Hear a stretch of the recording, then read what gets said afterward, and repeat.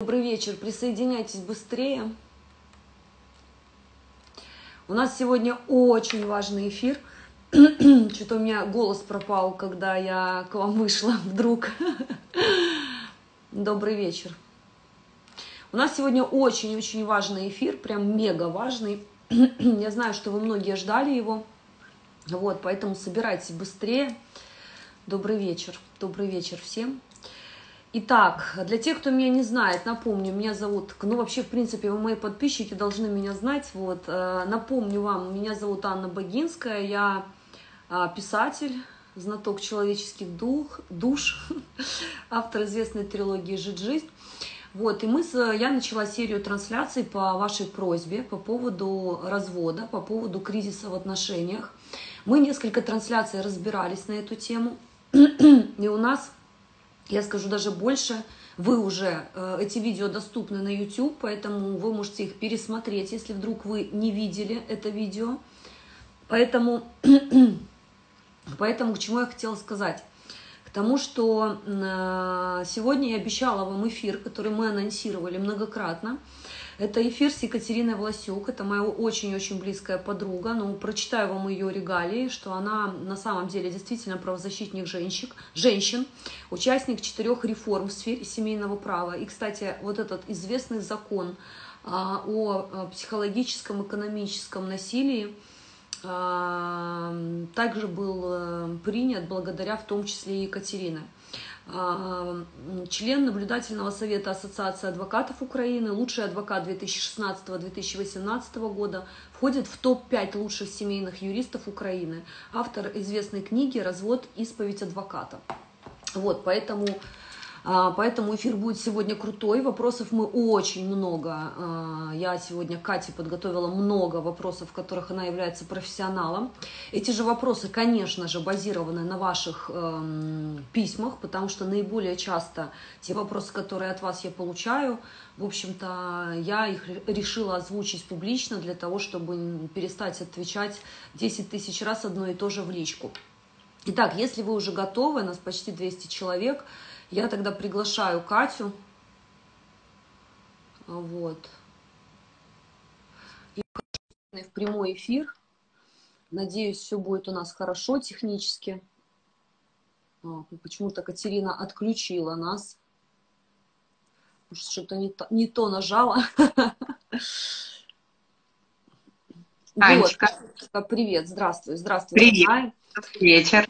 Добрый вечер. Э, знакомьтесь, это наша невероятная красавица Екатерина Власюк, которая очень жесткий адвокат, но в жизни, когда с ней общаешься, она очень добрая и нежная. Поэтому хотела напомнить мужчинам, что ее профессия не имеет никакого отношения к ней как к женщине. Вот. А как адвокат она потрясающий профессионал, и я много раз рекомендовала Кате своих друзей Катю своим друзьям и знаю, что все были просто в восторге. Поэтому, Катя, спасибо, спасибо большое. огромное. Я знаю, что ты занята, очень занята, несмотря на весь карантин, что у тебя есть и кейсы сейчас, и процессы, много консультаций. И я очень-очень благодарна, что ты нашла возможность встретиться в эфире со мной, а, для моих бабочек, э, для моих подписчиков, потому что для моей аудитории это важно, потому что так или иначе самая большая основная масса а, моих читателей это женщины, которые переживают очень непростые отношения, очень часто абьюзивные отношения. Не только, кстати, женщины, но и мужчины в том числе. Вот. И я хотела предупредить аудиторию, что мы сегодня будем работать пока не ответим на все мои вопросы подготовлены. Если у нас займет это больше часа, то мы эфир закончим и сразу же присоединимся к следующему эфиру. Поэтому, Катя, спасибо тебе огромное, что ты решила нам выделить вечер. Аня, спасибо тебе за приглашение. Это очень важный эфир. Я думаю, мы действительно сегодня очень важную тему обсудим, особенно на карантине. И я очень рада твоему приглашению. Да. Первое, начну с самого главного, наверное, самого важного, что мне бы хотелось с чего начать. Это закон, э, который сегодня, несколько лет назад был принят в Украине. А этот закон принят во многих странах Европы. Этот закон принят на территории США. Это закон, к сожалению, в России он пока не принят. А в России пока за него только борются. Но я тоже верю, что это процесс времени, потому что слишком много подкручено к этому известных популярных женщин, личностей, и вообще всевозможных людей, да, экспертов для того, чтобы этот закон, закон был принят. Это закон по поводу психологического, экономического, сексуального и физического насилия. Ну, так случилось, что мы а, ну, как бы считается, очень многие женщины, они ошибочно полагают, они думают, что вот если не бьет, предъявить нечего. Так вот, я хотела, чтобы ты рассказала об этом законе более подробно. И, конечно же, о тех кейсах, с которыми ты уже на сегодняшний момент работала, и сколько сегодня у тебя уже есть опыта в работе с этим законом. А, этот закон действительно был принят не так давно. Он только начинает свою работу, но уже э, есть сотни женщин, которым он помог. Закон гласит о том, что есть четыре вида насилия. Это действительно психологическое, экономическое, физическое и сексуальное насилие. Я начну с двух таких важных видов насилия, которые очень сложно пощупать. Это экономическое насилие и психологическое насилие. Очень сложно доказать наличие психологического насилия. И здесь без специалиста, без экспертного заключения психолога, у которого есть определенная квалификация, который дел, общается с жертвой такого насилия, который может выявить это насилие и установить, что самое главное, причинно-следственную связь. А, по этому заключению психолог должен установить, что действительно а, есть конкретная жертва, что конкретные слова, конкретные действия, конкретное давление понесло за собой психологическое давление, и э, с этим связаны определенные переживания. Э, то есть э, он, психолог должен установить эту связь. Ну, а... На самом деле я здесь хочу сделать очень важный акцент, что очень важно, чтобы человек, который будет диагностировать э, женщину, чтобы он был специалистом именно по психологам. Да. А чтобы это был психолог, который может экспертную оценку дать, который разбирается вот в таких вот ситуациях. Вот. Да, все верно, потому что в Украине на самом деле таких специалистов не то, что немного, а единицы. И поэтому э, большинство женщин не знает о том, что можно сейчас доказать психологическое насилие. И уже в прошлом году мы были первыми, кто э, получил одобрение суда, и мы смогли доказать и установить связь, и, и наши клиентки э, были признаны жертвами в таких кейсах. Но на данный момент остается сложностью, потому что нужно пройти определенный путь. Не только заявить о том, что у тебя насилие, не только пообщаться с психологом, но и обратиться в полицию с определенным заявлением. И сроки очень сжатые. По сути, должно пройти три месяца с момента, как было оказано насилие, до момента, пока дело зайдет в суд. Для того, Когда чтобы мы было... говорим о психологическом, о, о, физич... о, о любом виде да. насилия. Да, о любом виде насилия. То есть не надо ждать годы, нужно сразу заявлять, потому что по ходу рассмотрения рассмотрения заявления в полиции назначают э, э, в основном а, это участковый этими делами занимается, он должен а, и иметь время пообщаться с жертвой, пообщаться с насильником, выписать протокол и отправить этот протокол в суд. А суд уже рассматривает этот протокол, изучает доводы сторон, приглашает на заседание а, тоже насильника и жертву и устанавливает, есть ли факт насилия. Если да, то тогда э, постановляет ухвалу, в которой написано, что факт установлен. Но мы понимаем, что может быть обжалование, поэтому, к сожалению, не все женщины знают про, про такую возможность, и не все женщины готовы дойти до конца. То есть Кстати, объяснить... важно, я хотела сказать момент, что, например, uh-huh. в США, когда мы говорим о законе, ну, об этой такой экспертизе, что uh-huh. там даже жертв которых доказано психологическое насилие, а, не судят, если там было какое-то нанесение, ну, то есть самозащита или, например, даже было ну, убийство да, этого насильника или абьюзера, который там годами истязал жертву десятилетиями, и потом в какой-то момент это закончилось плохо. Я вот, кстати, хотела напомнить э, бабочкам и вообще всем моим читателям, подписчикам, что если в голове промелькнула мысль, что чтобы, я хочу, чтобы он умер, это та, та точка, когда нужно немедленно бежать, потому что в следующий раз неизвестно, в какой момент может включиться ваш инстинкт, и это может закончиться очень-очень плохо. К сожалению, вот такие абьюзивные отношения, когда мы особенно говорим об отношениях с абьюзером, психопатом хардовым, представителям темной триады, они заканчиваются, к сожалению, очень часто вот такими негативными, страшными историями, когда просто жертва в какой-то момент, извините, берет нож и перерезает горло, потому что она больше не может этого терпеть. Поэтому не думайте о том, что психологическое насилие никаким образом на вас не влияет. То есть каждый раз, когда вы переживаете эту травматику, в вашем бессознательном происходит определенный опыт. В какой-то момент на этой травме у вас может просто включиться инстинкт. Поэтому вот такие мысли, это уже ярый показатель, явный показатель того, что нужно из этих отношений убегать, уходить всеми способами. Хорошо, э, это когда мы говорим о психологическом насилии. Ну, разъясни, пожалуйста, более подробно, угу. потому что для многих форма экономического насилия, они типа думают, что он там с меня деньги вымогает. Но расскажи вот именно о, об экономическом насилии, потому угу. что это Я хочу... каждая, мне кажется, вторая женщина в русскоязычных странах испытывает так или иначе нечто подобное. Поэтому да. поясни, пожалуйста. Еще краткую ремарку хочу сказать в, допол- в дополнение твоего тезиса. В Украине около 30 женщин сидят и не выйдут э, на свободу за то, что они убили э, своих сожителей или мужей, которые долгие годы над ними издевались. И также в Америке, то есть у нас женщина России, должна несколько... Извините, в России статистика mm-hmm. страшнейшая. 85% женщин, которые заключены э, по, по статье убийства, это женщины, которые переживали психологическое и физическое насилие. Вот это страшно. И в Америке, кстати, а, женщине не нужно 10 э, раз рассказывать о том, что с ними делали. У них есть определенные комнаты, туда приглашают женщину, она общается с психологом, параллельно за, э, э, в соседней комнате за ней наблюдает судья и прокурор. То есть она один раз рассказывает только свою историю, и за это сразу идет ответственность.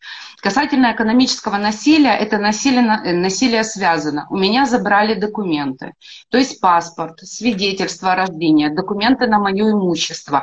А, у меня забрали деньги, либо я нахожусь в декрете, я воспитываю ребенка, у меня нет источника дохода, а, мой сожитель либо супруг об этом знает, и он прекращает меня финансировать, либо либо э, я должна ему отчитываться, да, угрожает. То есть он хочет, чтобы Форма я что-то делала. тоже здесь э, является экономическим насилием?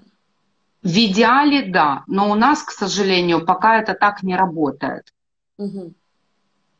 И доказать экономическое насилие э, на самом деле непросто. То есть оно может Что идти в связке. Скрины, аудиозаписи. Угу подтверждающее, там, что он забирает деньги, подарки, угрозы, что, mm-hmm. ну, что является доказательством mm-hmm. экономического насилия? В первую очередь это а, если забрали документы, и жертва не может никуда обратиться, то есть ни в суд, ни, в полицию, только с заявлением на потерю документов. И второй момент это а, касательно того, а, если действительно женщина находится в декрете, и у нее нет возможности самой себя содержать. То есть наличие факта, что она в декрете, что она на полном обеспечении супруга, уже может являться доказательством того, что идет экономическое насилие насилия. Но в Украине э, на данный момент э, у нас в стране э, этому, это в основном идет в связке с психологическим насилием. То есть отдельного чисто экономического насилия а, прецедентов таких пока нету. Но здесь еще очень важно, что я хотела сказать, что очень важно, чтобы была вот эта доказательная база, и большим да. аргументом да. является, если да. женщина не да. работает, либо женщина находится да. в декрете, да. особенно если женщина находится в декрете. Да, и эту всю доказательную базу нужно предоставлять тоже скрины, о которых ты говорила, записи телефонных разговоров, если есть, либо записи камер, э, которые установлены дома, либо диктофон. Это все тоже может являться доказательной базой.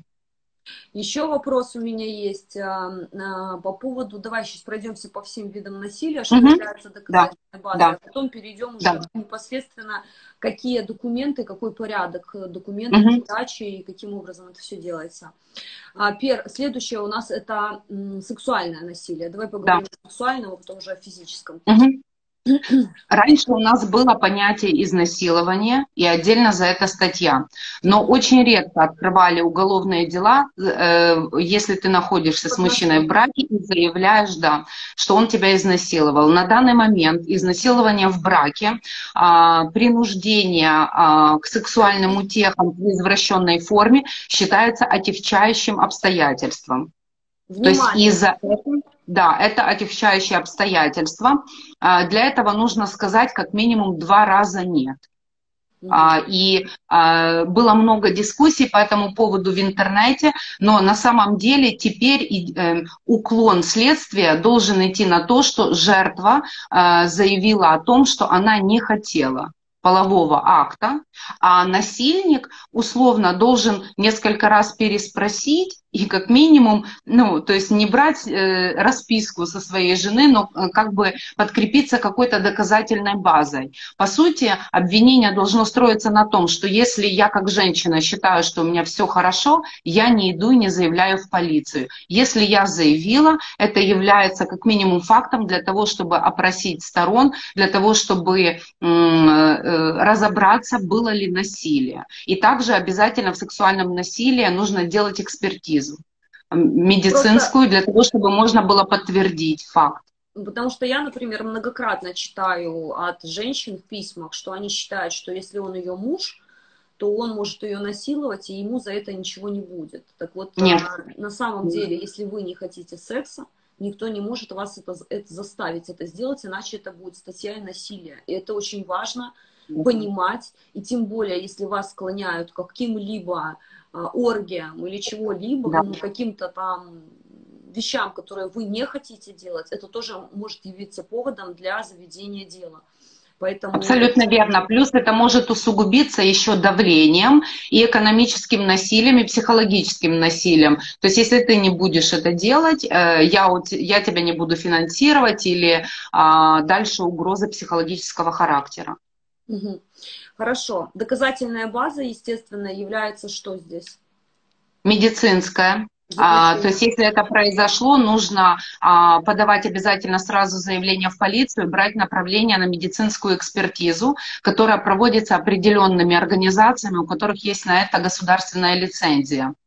Угу. давать письменные и устные показания и э, собирать доказательную базу. Может быть, получилось так, что была возможность записать для того, чтобы э, потом насильник, э, не вышла ситуация в поле, мои слова против его слова.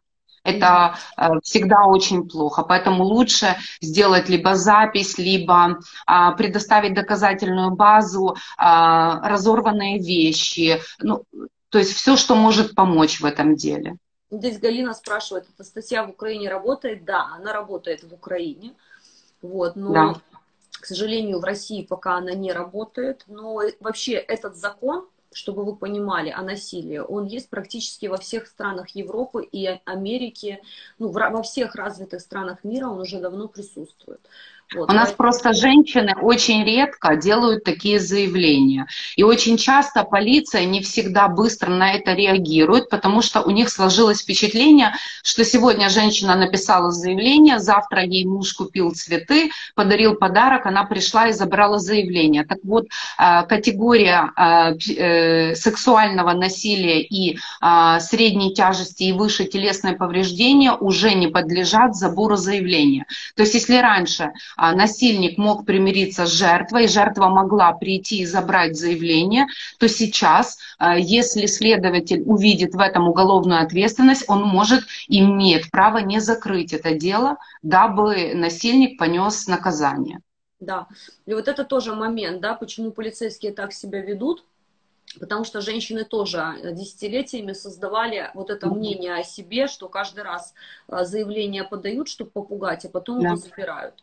Вот, поэтому мне тоже радостно, что уже а, закон вышел на новый уровень, такой же, как и в Америке и в Европе. Если ты пришел и на тебе нанесены к врачу травмы, которые ты сам себе нанести не мог, они обязаны вызвать полицию. Обязаны, да. И да. Они обязаны обратиться в полицию и зафиксировать, что было такое обращение. Угу. Хорошо. Теперь самый главный вопрос. Допустим, представляем себе, а, что все это случилось. ну, рассмотрим mm-hmm. ситуацию без физического насилия, ситуацию с физическим насилием. А, а, давай еще пять минут буквально по поводу медэкспертизы, если вдруг избили. А, это обязательно нужно делать а, и не ждать очень долго. Экспертизу нужно делать в течение трех дней желательно, потому что э, эксперты осматривают жертву, она сначала объясняет, какого рода травмы, где она получила, потом она показывает эти травмы, эксперты их описывают, и они делают экспертизу и устанавливают, действительно ли э, травмы были получены в те даты, в которые заявила жертва, и соотносятся ли эти травмы с той историей, которую им рассказали. Экспертизу лучше делать в рамках уголовного дела, поэтому если произошло э, физическое насилие, нужно сразу вызывать полицию, либо на следующий день обращаться в ближайшее райотделение и писать заявление. А, в течение а, суток должны возбудить уголовное дело, но если вы пришли подавать в участок заявление, с вами вас опрашивает следователь дежурный, и он уже сам может выписать направление на экспертизу. Угу. Хорошо. Проходит... Теперь Да. Ты все сказала? Не, не. Да, да. Да? А, а, вопрос следующий. То есть, если происходит одна из этих форм насилия, да, не дай бог физическое, но, к сожалению, бывает и физическое очень часто. А какой порядок, процедура вообще, что в таких случаях, как правильно должна вести себя жертва? А если это произошло в доме, вот только сейчас, и в этом доме находится насильник, нужно сразу вызывать полицию и по телефону говорить о том, что вам надо, что у вас а, домашнее насилие и что вам надо, чтобы приехало обязательно подразделение Полина, которое в Украине отвечает за а, расследование такого рода преступлений. Когда приезжают на место полиция и представители Полины, а, у них есть полномочия для того, чтобы выписать предписание. То есть они на месте должны среагировать, поговорить с двумя сторонами, если они есть на месте, и они даже могут выписать протокол и предписание о том, чтобы жертва с насильником не общалась. Этот протокол выписывается на 10 дней. Mm-hmm. Либо же они по закону имеют право попросить насильника Э, выйти или уехать куда-то с квартиры для того, чтобы не усугублять конфликт. Но это, к сожалению, не так часто происходит, потому что обычно полиция не, э, к сожалению, быстро не реагирует, приезжает в лучшем случае через 20 минут после случившегося, и э, уже конфликт как таковой исчерпан. То есть если они приезжают и видят, что дальше происходит драка, то тогда они могут активно реагировать а, и э, куда-то перемещать этого насильника. Они не могут его задержать, а они его могут поехать допросить, либо попросить э, собрать свои вещи и куда-то уехать на время. Либо они делают предписание. Если на момент приезда полиции... Какое предписание? Да. Нам с тобой понятно, э, а, да. слушателям нет. Э, предписание – это, э, скажем так, э, форма влияния на семейный конфликт, на домашнее насилие, по которому жертве и насильнику запрещают общаться и коммуницировать. Это срочный документ, который могут выписать на месте представители Полины и который действует всего лишь 10 дней.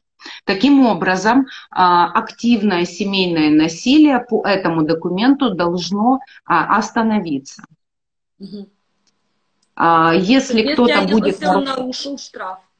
Да, если это все нарушил штраф, и плюс э, в будущем, если будут еще протоколы такого рода, а, э, э, это может подпадать под уголовную ответственность под статье «Домашнее насилие». Вот здесь мне девочка пишет нам, в России это не работает. В России работает немножко другой закон, но точно так же, обратившись в полицию, особенно если вы это делаете через адвоката, в тот момент, когда вы звоните, вы поймите, сейчас полицейские очень боятся нарушения протоколов и боятся потери собственной работы.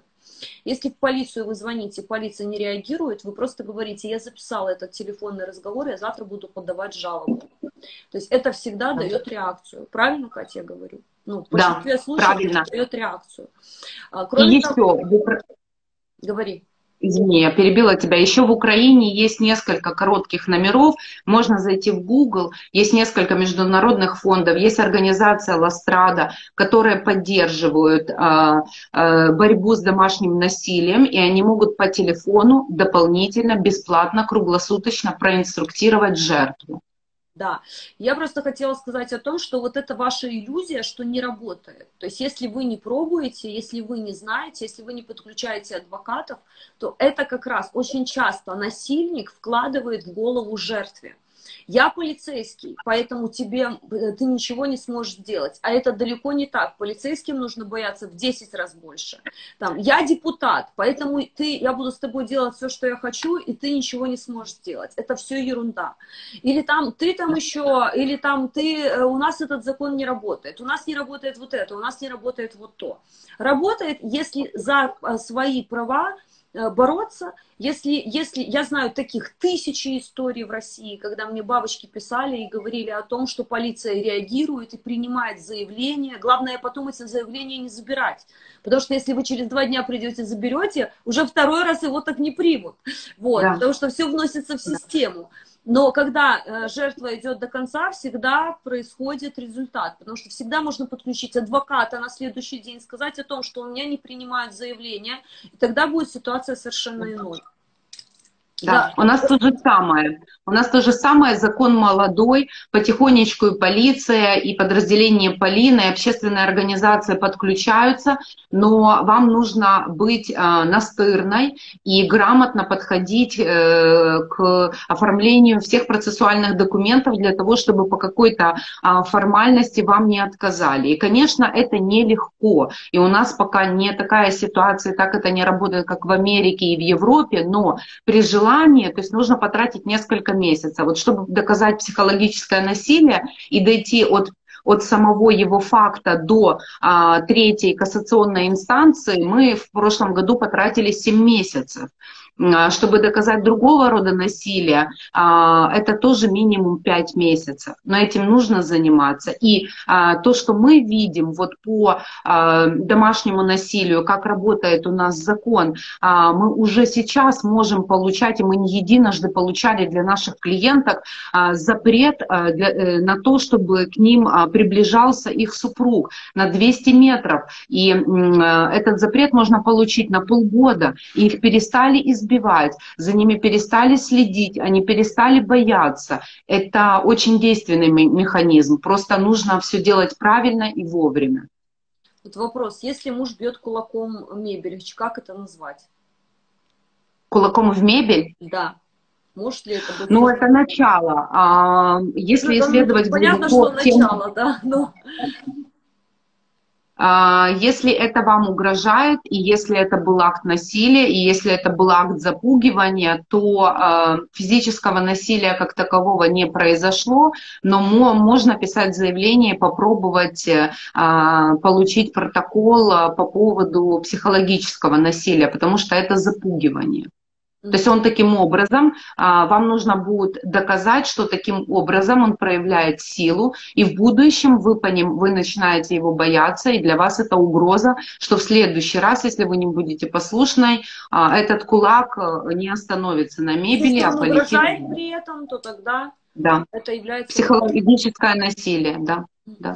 Катя, теперь какой порядок подачи? Самое главное, если вот женщина или мужчина пребывает в такой ситуации, бывает по-разному. А, что делать в таких случаях? Что правильно? Вот нам тут пишут, что даже в генпрокуратуре не реагирует. То есть почему прокуратура может не реагировать? Ну, то есть какой правильный эффективный порядок максимально быстро добиться результата в таком деле?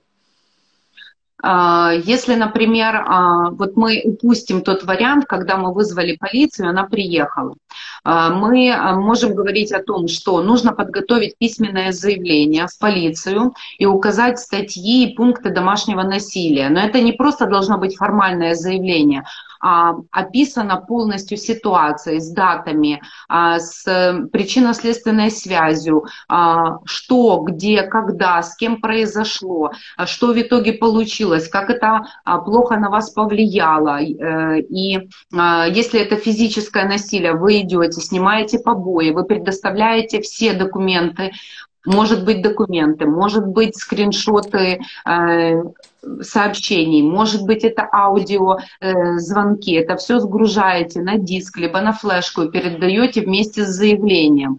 А, вы уточняете контактный телефон отделения полиции и как минимум на следующий день а, звоните туда, либо приезжаете, уточняете, на кого расписали дело.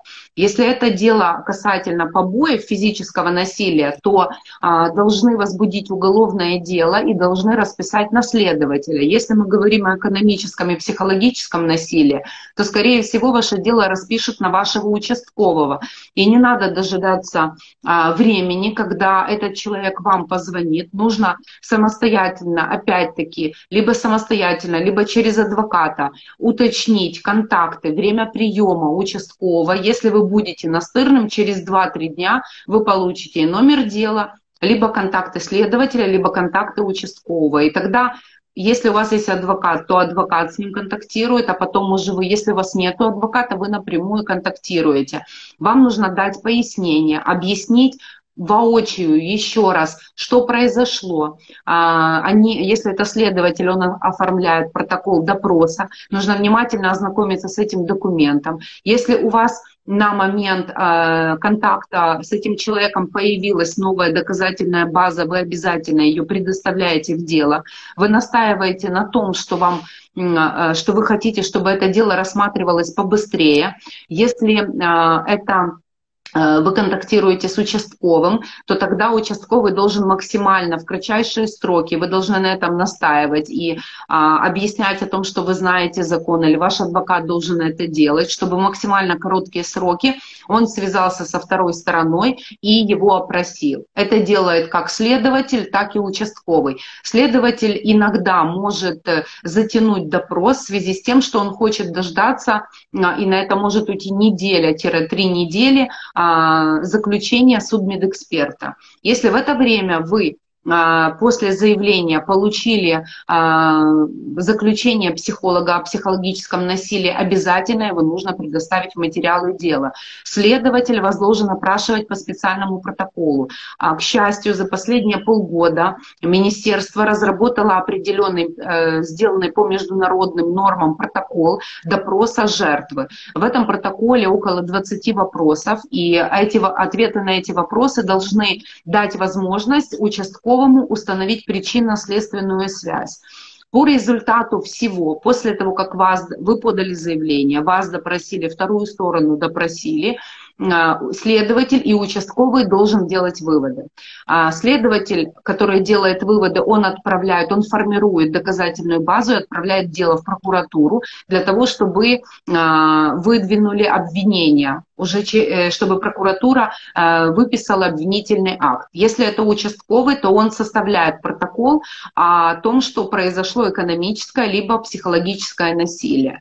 Дальше и обвинительный акт, и протокол попадает в суд. И суд начинает рассматривать дело. Если это протоколы, то э, в основном одно-два заседания, и судья рассматривает. Если это уголовное дело, могут быть, э, там есть э, формат предварительного слушания, а потом основного слушания. Но мы должны понимать, что обидчик может уйти в форму затягивания процесса, не являться вовремя, делать отсрочку, либо менять адвокатов, и это все может чуть-чуть продлить э, ваше рассмотрение. Но если вы, опять-таки, будете настырными, вы можете писать жалобу сначала на начальника полиции того района, где зарегистрировано ваше заявление. Вы можете обращаться на горячую линию, вы можете обращаться к министру МВД, вы можете писать жалобу в прокуратуру. Ну, здесь, вот, например, девушка пишет, что я уже дошла до прокуратуры, а ВОЗ не там, хотя у меня даже сняты побои. А, нужно ознакомиться с материалами дела, все дела индивидуальны и смотреть.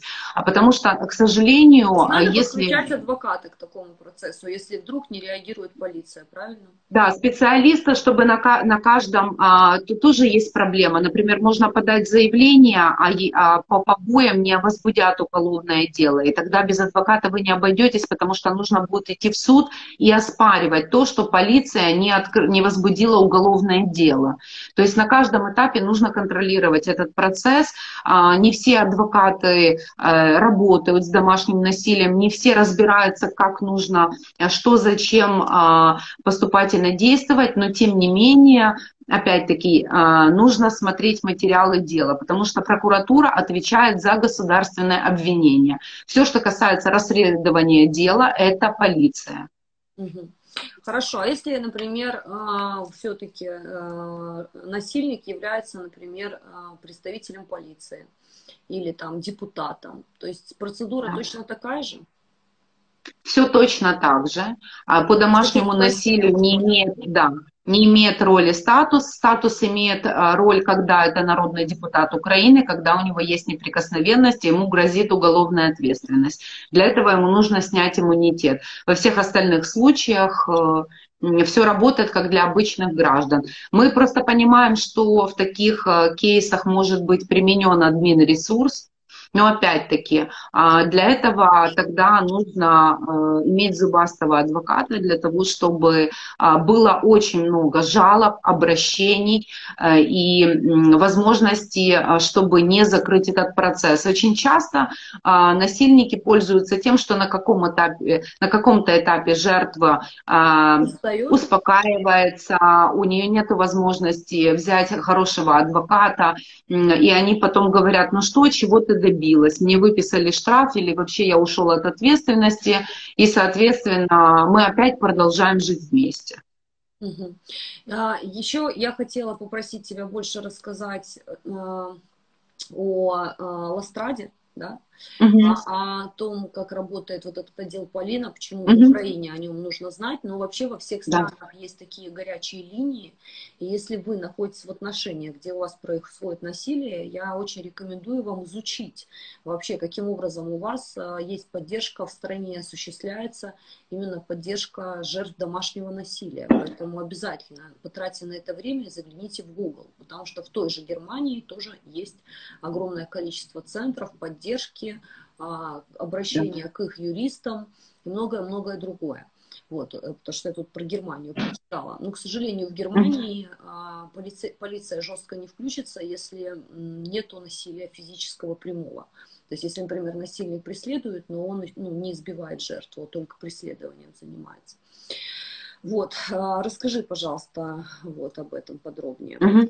А, э, а, Ластрада – это общественная организация. И еще тогда, когда в Украине не было закона о домашнем насилии, у нее уже были тайные приюты. На данный момент эти тайные приюты, система их развивается, их количество увеличивается. Если женщина обратится а, по горячему номеру по телефону а, организации Ластрада, ей помогут но ей надо не просто заявить о том, что э, с ней происходит домашнее насилие, ей надо будет подтвердить, и это иногда могут быть э, копии заявлений, обращений в полицию для того, чтобы сотрудники этой общественной организации э, поняли, что действительно жертва не врет и что она находится в беде.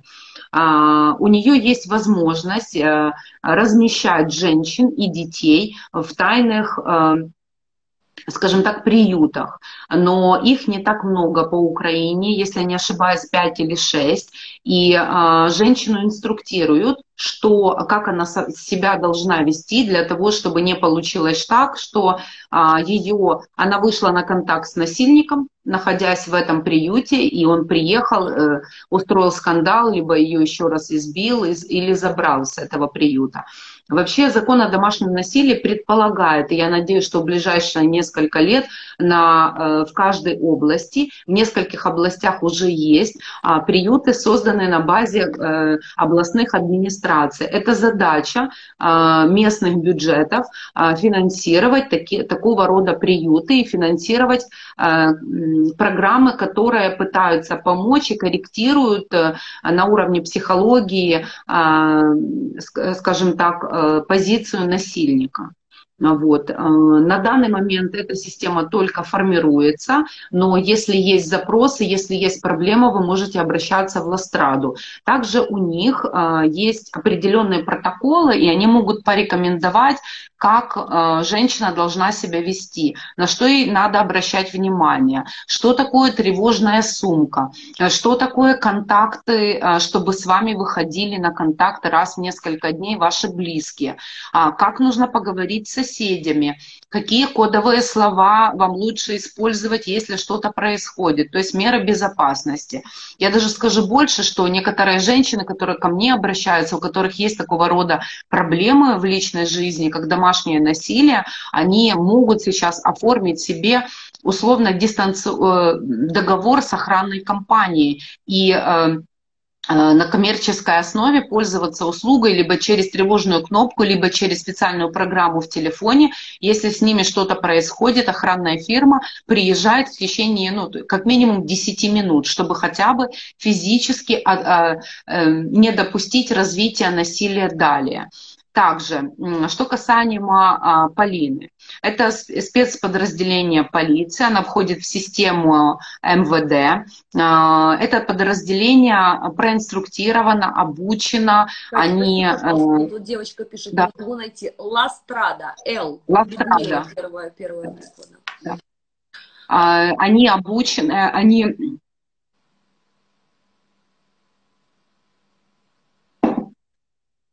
тоже горло. Что-то мы, да, сегодня. Да, говорим. Они обучены, Полина, реагировать на это, такие ситуации. Да.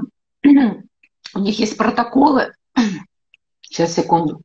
Да, у них есть протоколы, согласно которым они должны действовать. Мы уже проболтали на тему насилия 40 минут, ты пока поглотай водички, а нам уже пора двигаться дальше, потому что у нас еще есть две очень важных темы. Это тема развода. Когда, например, да. происходит так, что ну, он еще не бьет, или даже если и было насилие, тема развода и детей. И наиболее часто, которые я слышу, читаю в письмах своих читательниц, это такие слова и фразы, что он говорит, что он оставит меня на улице. Особенно, внимание, наша тема сегодня а, коснется и международных браков. Но а, то, что я хотела сказать. Очень важно, чтобы вы понимали, что, например, на территории США, Европы, если вы подвергаетесь физическому насилию, не верьте насильнику, который утверждает, что э, вас депортируют или у вас заберут детей, при условии, что это не Турция, не Арабские Эмираты, то есть, а, ну, то есть мы поговорим об этом позже. И здесь очень важно, чтобы вы понимали, что, например, в США, наоборот, очень часто жертвы насилия мгновенно получают э, грин-карты. Поэтому консультируйтесь с адвокатом, не верьте в эти угрозы. На самом деле насильник психологически перепрошивает мозг жертвы, чтобы она боялась. И из-за этого происходит то, что женщины годами терпят насилие, наши русскоязычные, находясь в Европе или в Америке, боясь, э, что их депортируют из страны стороны. Это далеко не так. Поэтому обязательно консультируйтесь с адвокатами. Ну и мы переходим уже непосредственно вот а, к международным. Давай, наверное, сначала с международных, да. в конце поговорим о разделе имущества, о том, что угу. такое, каким образом это все происходит, может ли действительно насильник забрать детей и все остальное. А, перейдем вот к этой международной всей истории, потому что у меня на моем опыте очень часто я получаю письма от бабочек, которые, ну, от читательниц моих, от тех, кто смотрит видео на YouTube, а, с таким вопросом, что вот он, он угрожает, что у меня заберут детей из-за того, что я иностранка, меня выгонят из э, страны, депортируют, и я никогда не увижу своего ребенка, я очень этого боюсь. Вообще, да. каким образом женщину, каким образом женщина может защитить себя, выходя замуж за иностранца? И с какими странами нужно быть обязательно внимательной, намного более mm-hmm. внимательной, чем да. с другими странами. Вот я хотела начать с этого, потом дальше продолжим mm-hmm. Ну, в идеале надо начинать с того, что если вы планируете выйти замуж за иностранца, вы как минимум должны взять хотя бы одну базовую консультацию с, а, а, с, адвокатом по семейному праву той страны, а, гражданином которой является ваш будущий супруг.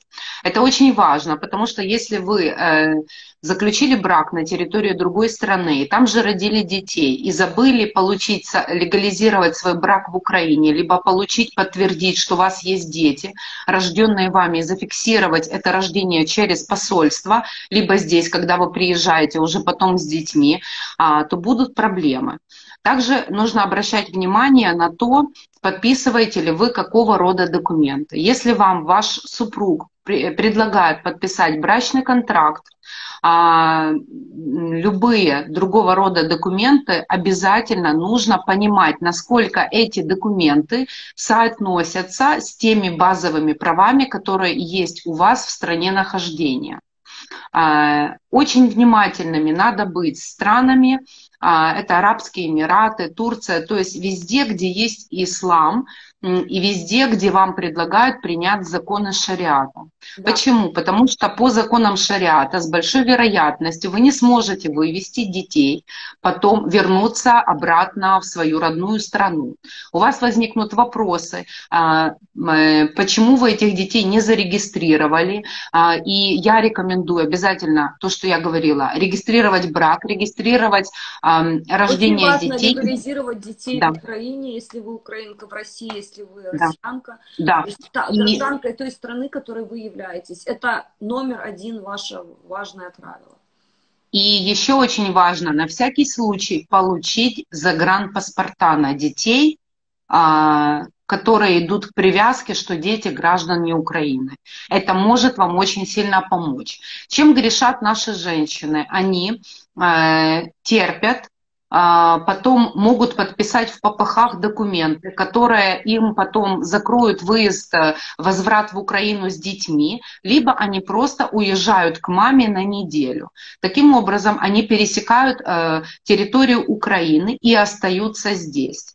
Умный, грамотный иностранец, что он делает? Он обращается в полицию, фиксирует, а, а в некоторых государствах, таких как, например, а, США, есть киднеппинг, статья, они фиксируют, что ребенка украли, они фиксируют домашнее насилие, они обращаются к адвокату, адвокат обращается в Министерство юстиции их страны, и через Министерство юстиции их страны они выходят на Министерство юстиции в Украине и подаю, и Украинское Министерство юстиции подает в интересах иностранных граждан а, иск в суд о возврате ребенка.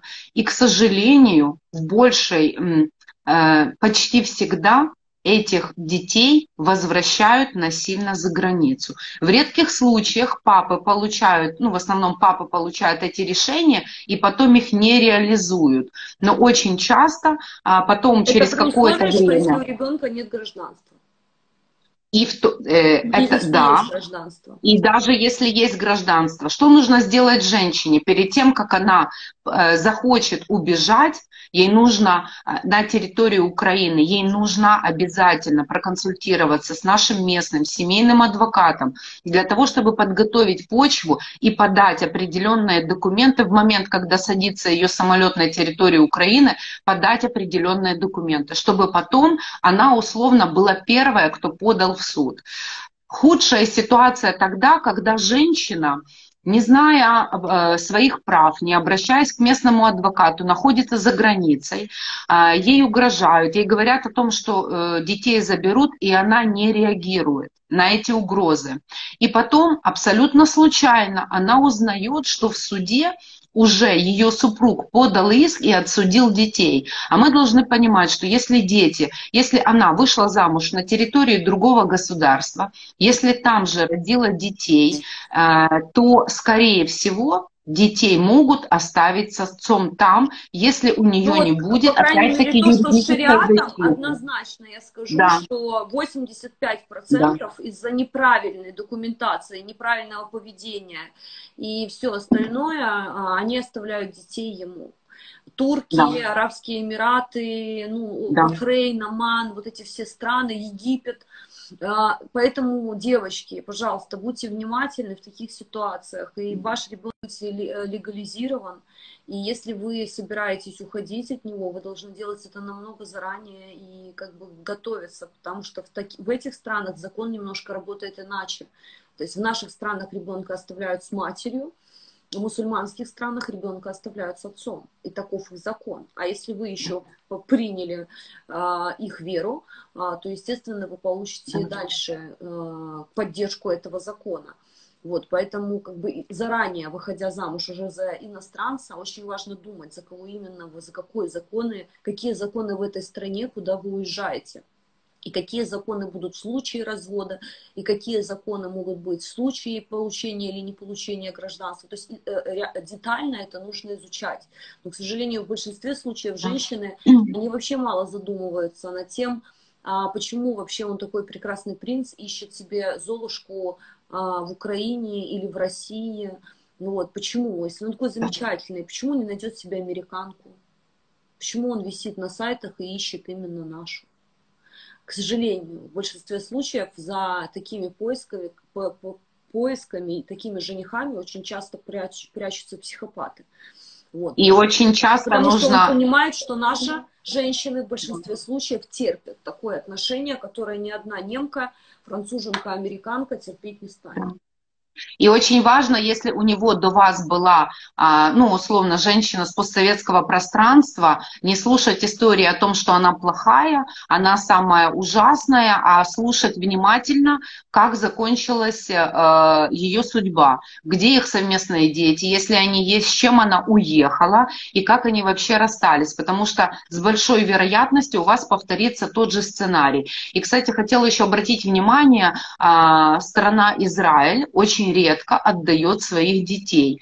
И э, представительство Израиля в Украине, представители посольства и консульства могут приходить на судебные процессы по возврату детей, которые рождены были там. Они очень сильно переживают по этому поводу и контролируют судебные процессы в Украине, поэтому очень важно быть внимательной, очень важно консультироваться, очень важно э, быстро, то есть готовиться и быстро принимать решения, потому что бывает так, что женщина не знает, а муж обратился к адвокату, и она пытается выехать из страны, а у нее запрет и ее в аэропорту э, э, отводят в участок, а детей передают ему. И тогда это полная фиаско, это годы мучений, э, и очень часто бывают такие истории. Хорошо. На, на, насчет брачного контракта э, с иностранцем. Вот, а, еще хотела тебе, расскажи же, есть еще много смешных пунктов по поводу, например, японского закона, который женщина... Слушай, ну да, у нас э, есть несколько кейсов в Японии, и там, кстати, женщина может получить э, около 20 тысяч долларов моральной компенсации, если докажет измену. У них в этом плане очень, скажем так, строгий суд, и э, они очень э, относятся к, к изменам, для них это важно, и э, на самом деле, ну вот, я надеюсь, что у, у нас в этом кейсе мы подали такое заявление, что у нас получится отсудить для нашей клиентки моральную компенсацию. То есть есть, не, есть нюансы. Например, э, тоже, что касается имущества, вы делите имущество только на территории той страны, где находится имущество. Это спектр международного права. Поэтому для того, чтобы понимать картину в целом, по всему объему ваших семейных вопросов, это и развод, и дети, и алименты, и место проживания, и имущество, я всегда рекомендую, консультируйтесь с страной, гражданами, которые вы являетесь, либо э, по рождению вашему, например, если вы Украина, э, Россия, Белоруссия, другие страны, да, и по законодательству той страны, где вы проживаете. Угу. И еще нужно учитывать, а, например, если вы проживаете э, в треть, э, вы брак заключили в одной стране, а проживаете в третьей, э, ну как бы во второй стране тоже. То есть как минимум нужно еще дополнительно консультацию той страны, потому что, например, если вы заключали брак в Швейцарии, а проживаете во Франции, то тоже могут быть нюансы.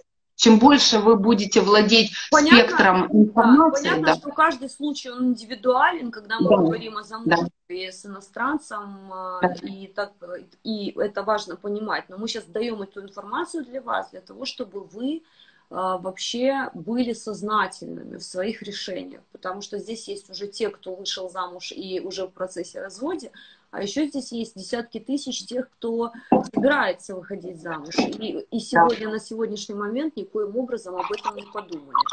Вот, поэтому, а, насколько я знаю, из опыта там моей аудитории, письма, которые я читаю, а, что в мусульманских странах, а, к сожалению, детей оставляют наиболее часто отцу, особенно, возможно, матери, если она тоже родилась и выросла, является гражданкой этой страны.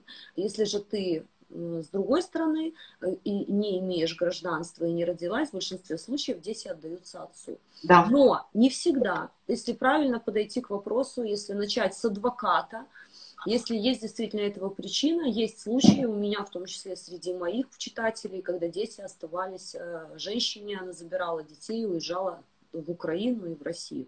Поэтому здесь очень важно консультироваться с адвокатом, прежде чем делать какие-либо действия. Это я... то, собственно, что мы хотели донести.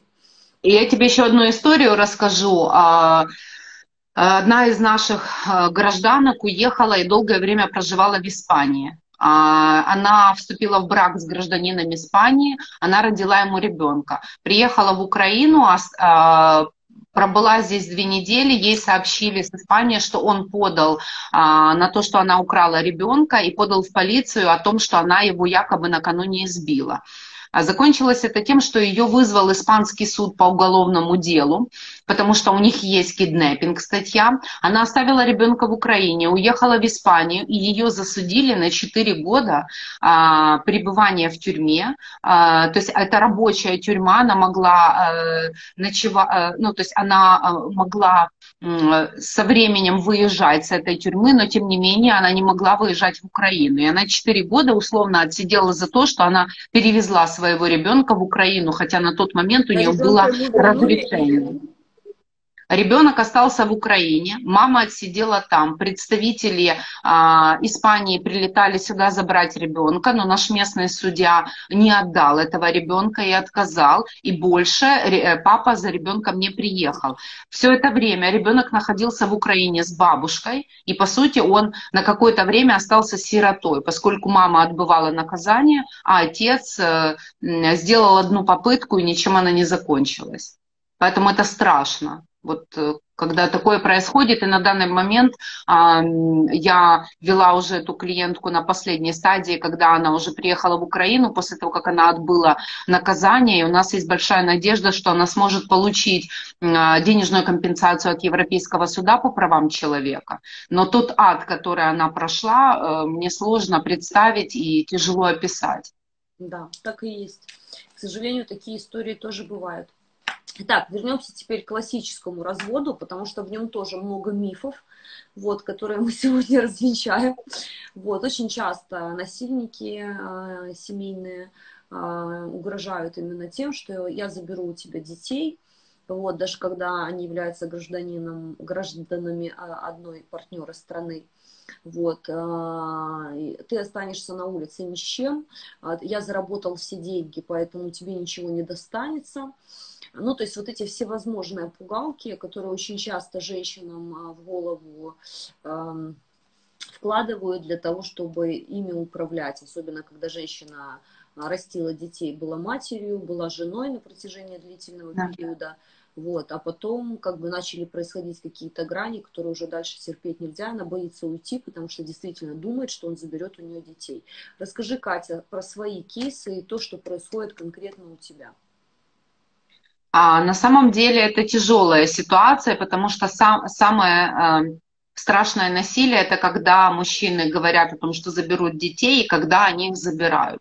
И удерживают незаконно. В Украине нет статьи по киднеппингу, и очень сложно а, решаются эти вопросы, они а, заканчиваются большими семейными войнами. Поэтому очень важно, опять-таки, чтобы мама не боялась вступать в борьбу за своих детей. Я видела женщин, которые отказывались от своих детей, которые подписывали под давлением договора, по которым передавали своих детей на воспитание отцу, когда проходило время, когда она освобождалась, когда психологический, э, психологическое давление на нее убавлялось, она понимала, какую ошибку она совершила. Ой, и зачастую... у нас сейчас закончится эфир. Да. Вот, и потом я, давай продолжим уже, когда этот вопрос да. конкретно в следующем эфире. Я увидела, да. что он заканчивается. Сейчас мы переключимся и вернемся с ним к нему. Переключайтесь на новый эфир обязательно.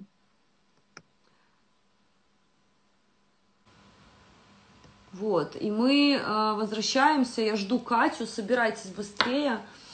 Мы продолжим уже непосредственно про развод, который является самым... Как быстро пролетел час у нас с Катей, да? Прям как мгновение. Так.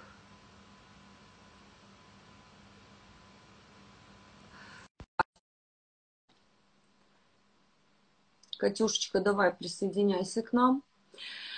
А, как мы, напомню вам, для тех, кто не знает или под присоединился прямо сейчас, у нас э, в гостях на моей странице Екатерина Власюк, очень известный адвокат, входит в пятерку самых сильнейших адвокатов Украины по бракоразводному семейному праву. Вот, мне больше нравится по семейному, Вот, мы уже в первой части успели поговорить о международном праве, о физическом, сексуальном, экономическом, психологическом насилии. Сейчас мы уже перешли непосредственно к теме развода. Вот. Что делать, когда женщине угрожают таким образом, постоянно угрожают, что ты останешься на улице, ты останешься без детей, там, после 10, 15, 20 лет брака. Я попросила Катю рассказать о своем опыте, именно ее деятельности, ее кейсах, с которыми она работала, и что происходит на самом деле в, наши, в наших странах. Я э, хочу призвать всех женщин э, знать свои права, и не разрешать никому их нарушать, потому что защита нашего права в первую очередь принадлежит нам. Если мы не готовы заявлять о своем праве, то никакой адвокат, никакой полицейский, никакой, судья нам э, за нас это не сделает. Поэтому все начинается с внутренней воли. Дальше. Очень важно понимать, что не важно, что нам кто-то говорит. Если у нас есть совместные дети, мы мамы этих детей, то мы имеем как минимум 50% прав на этих детей. Неважно, кто отец этого ребенка, какими деньгами, какой властью он обладает. Да, есть факты и моменты, когда женщину можно лишить родительских прав. Когда она а, наркоманка, и есть соответствующие документы, которые подтверждают, что она лежала как минимум один раз в реабилитационном центре. Также это касается женщин, которым предъявляют якобы психологическое расстройство. Для этого нужно иметь подтверждающие документы. Также, а, если женщина э, например, а, надругалась над своим ребенком, и этому есть прямые доказательства, либо ее за это осудили. Во всех остальных случаях все, что вам говорят, вы плохая мать, я заберу у вас детей, а, ты там... Зависимость ты сказала, да? Да, да, угу. да. Э, ну и алкоголь. То, тоже э, нужно доказать, что женщина является алкоголичкой. Но тем не менее, несмотря на то, что есть несколько решений Европейского суда, которые дают прямые указания украинским судам э, не так часто оставлять детей с матерью, а как показывает практика, в целом, в сред... ну, то есть плюс-минус 90% детей после развода остаются с мамами.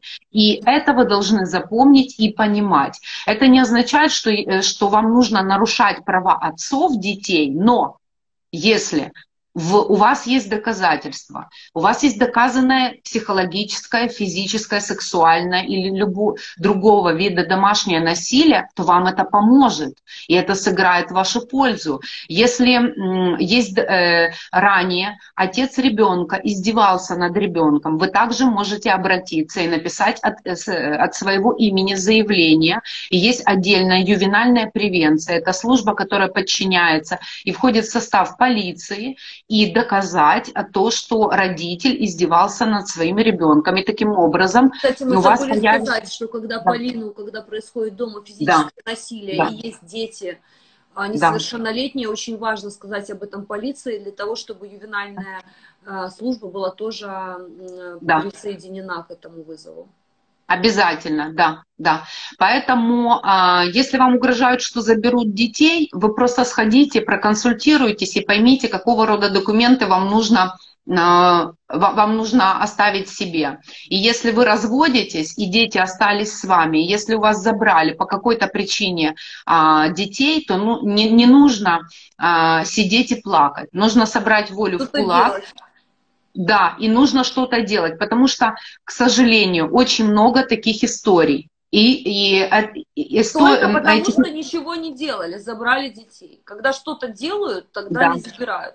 И вот здесь Да, вопрос всегда- задается. Самое частое, чем пугают, это как раз вот эта история. А если у женщины нет жилья вообще, а у него только есть квартира? То есть они часто пугают, что квартира на мне, дети останутся с тобой. Катя, пожалуйста, развенчай этот Да. миф, потому что Да, я в письменной форме, уже у меня стерлись пальцы отвечать на эти письма, что на самом деле это не так. Это не так. Если у вас нету жилья, если вы, э, у вас нету договора То о если с вами все в порядке, вы не наркоманка, Да. не алкоголичка, не занимаетесь Не били ребенка. не били ребенка, Да. да. то есть не наносили то ребенок, никаких- то ребенок останется с вами, даже если вы живете в арендованной квартире.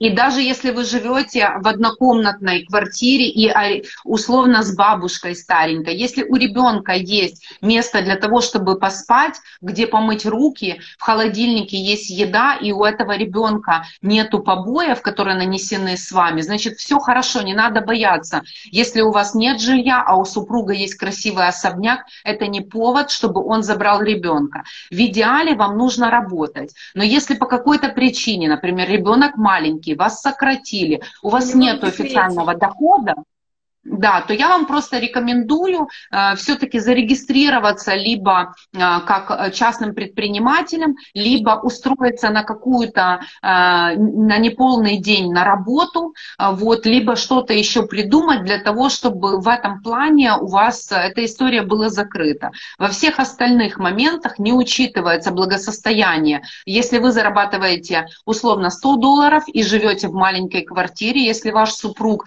имеет доход миллионы и живет в доме, это не повод, а, чтобы у вас отобрали ребенка. Да, и Также- в наших странах наиболее часто детей оставляют матери. У нас немножко Конечно, да. Да, да, Практически там в 85 случаях остается процентов ребенок с матерью.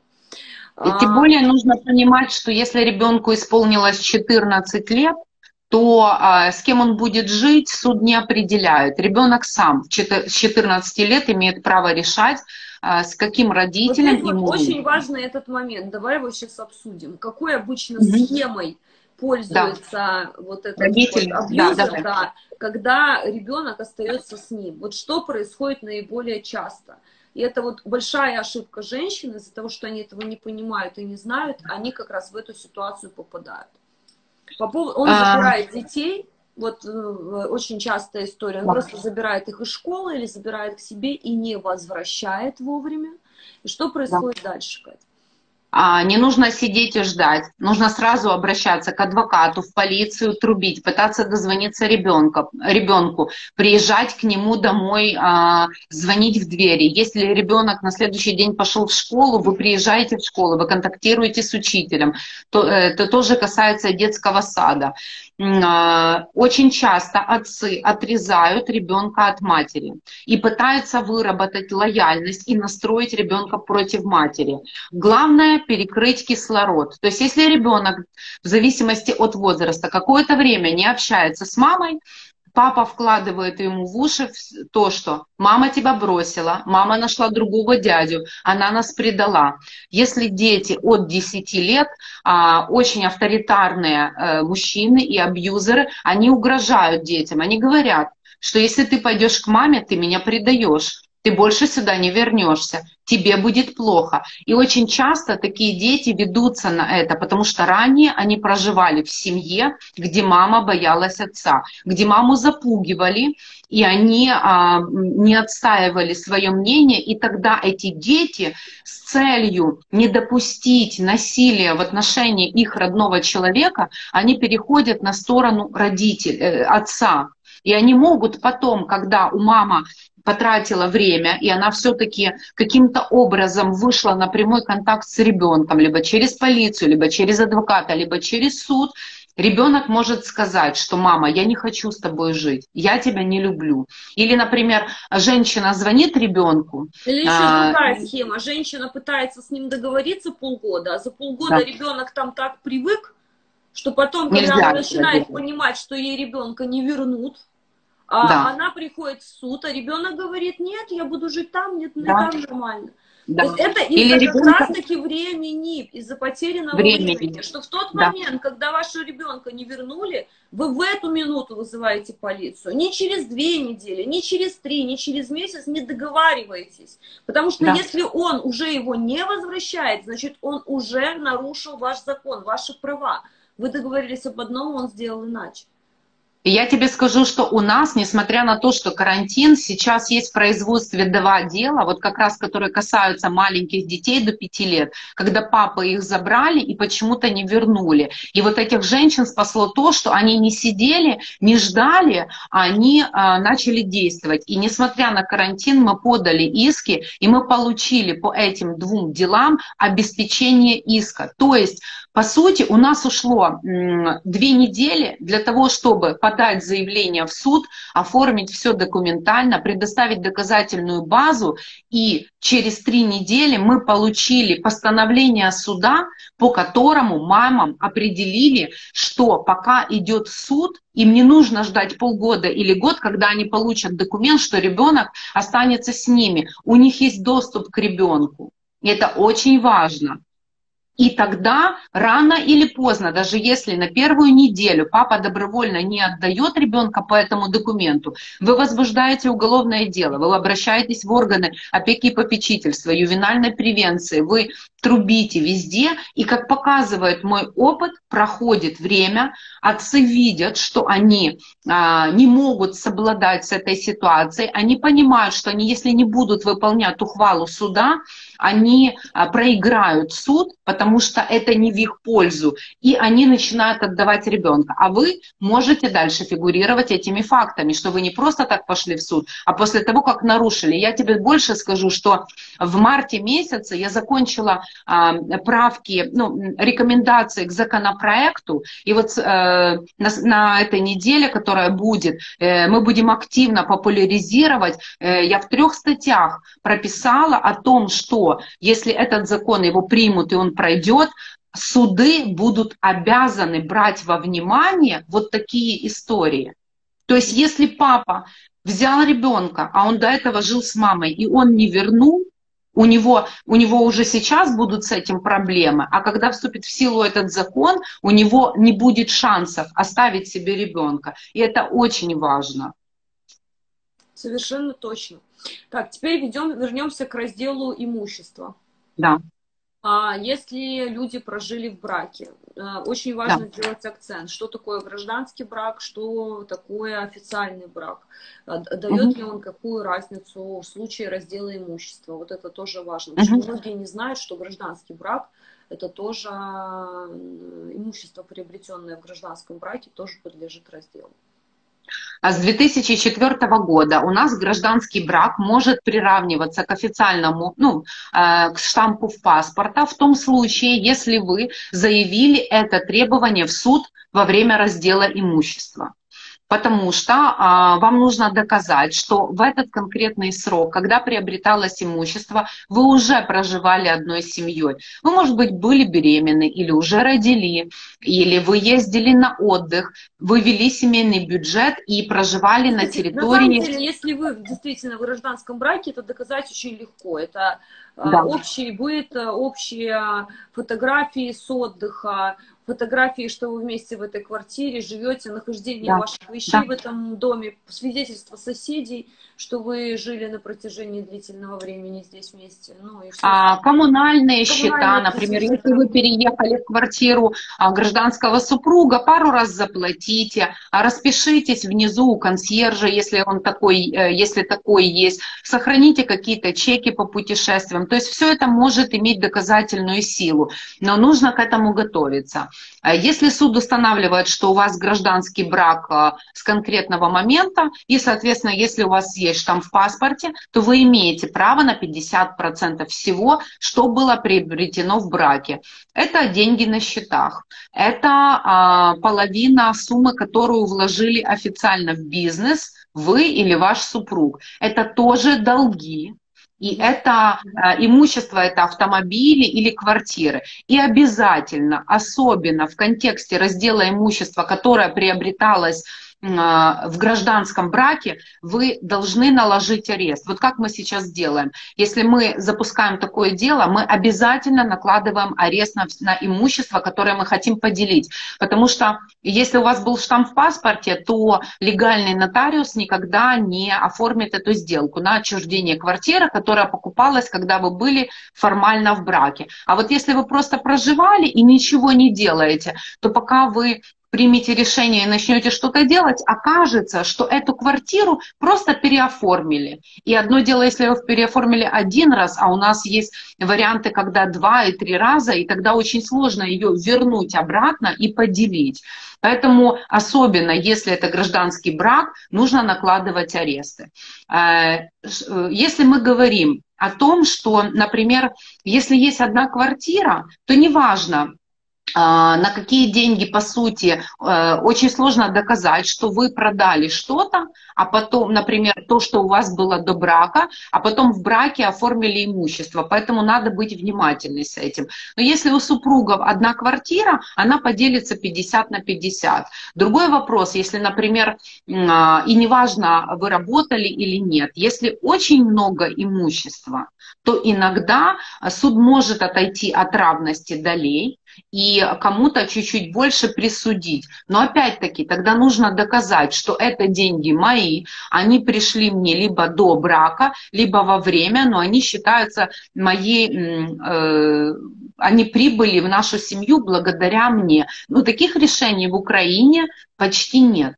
Поэтому а, очень часто, если, например, мы говорим о большом, э, скажем так, о Э, семье, где есть много разного имущества, э, очень часто женщин вынуждают под давлением подписать брачный контракт, э, либо договор о разделе имущества не в пользу женщины, где она получает один объект, а могла получить 3, 4 или 5. Поэтому очень важно, перед тем, как вы подписываете договор о разделе либо брачный на выходе с брака, когда уже у вас все плохо, проверить, обратиться с адвокат, э, к адвокату. Многие женщины не знают, где официально оформленный супруг. Какой, э, кто, кто проверить, где он работает, какое имущество есть, э, есть ли он участником какой-то компании. Сейчас через адвоката это можно очень быстро все проверить и получить информацию, что вообще есть во владении вашей семье. И если вы когда-либо давали доверенности на распоряжение вашим совместным имуществом, первое, что вам нужно сделать, пойти к нотариусу и отозвать. А если вы не помните, все равно пойти к нотариусу, и нотариус имеет право проверить. Да, да. Хорошо, такой вопрос. Если муж зарабатывал больше официально, он имеет право забрать больше имущества, при этом не принимал участие в воспитании ребенка и его денежного обеспечения. А, дети не влияют на процесс раздела имущества. Вообще. Неважно, с кем они остаются после развода а, и сколько Очень у вас детей. Нюанс, потому что многие да. ошибочно предполагают, что если со мной да. остаются дети, мне дадут больше имущества. Нет. Это не так. Никогда. Нет, это не так. 50 на 50. Вот, да. по закону. Если муж зарабатывал э, больше, а вы сидели в декрете, учились, занимались творчеством, путешествовали или бездельничали, это не повод не забрать, э, чтобы вы, ну, чтобы вы не получили свою половину. А если в, в браке вы находитесь и вам не дают денег на содержание детей – вы не должны ждать развода и не, не должны ждать, пока вы решитесь на развод. Вы можете получить алименты, находясь в браке. Э, некоторые юристы в этом сомневаются. У нас есть достаточно много успешных кейсов, когда мы получали алименты и на женщину, которая находилась в декрете с маленьким ребенком до 2-3 лет. Мы получали алименты даже при том, что супруги то жили в одной квартире, то жили отдельно. Мы в таких случаях тоже получали алименты. Получали в случаях, если а, еще нету официального развода, вы просто разъехались, и первым, на что нужно подавать, на алименты. Поэтому, если вы не подаете на алименты, то есть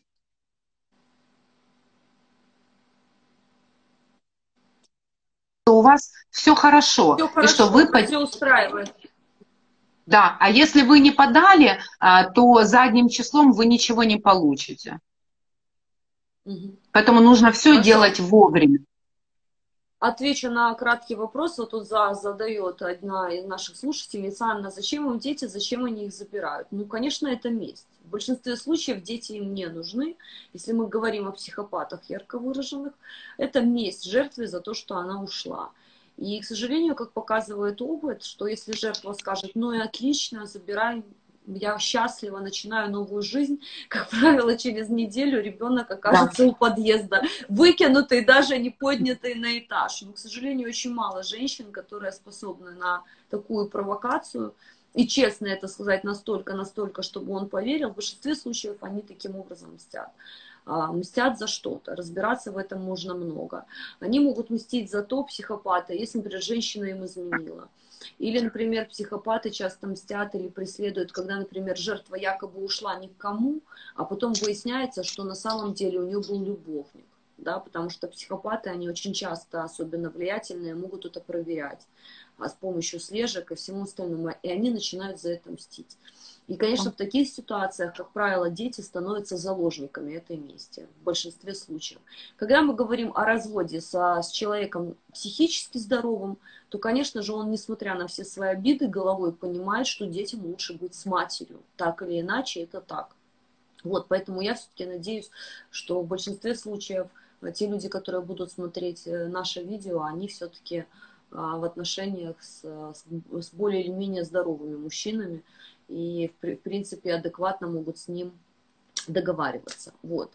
А, мы остановились, э, поговорили уже о том, что 50 на 50. Катя, расскажи, пожалуйста, процедуру.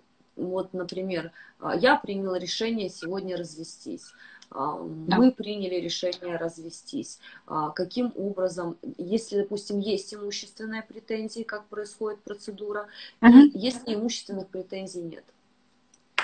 Я а, всегда рекомендую своим клиентам подходить к делу комплексно.